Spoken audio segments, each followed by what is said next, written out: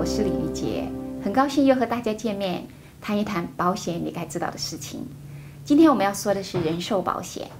人寿保险主要有三大类型，第一类是定期人寿保险，第二类是终身人寿保险，第三类是投资性的人寿保险。那最简单也是大家最能承担的一种呢，就是我们说的定期人寿保险。定期人寿保险呢，你可以买十年、二十年、三十年。这一个呢，我觉得也是每一个家庭都应该所有的一份，这样可以提供给你们家的家人呢一份保额保险。第二个是终身保险，终身保险是比较贵的一种。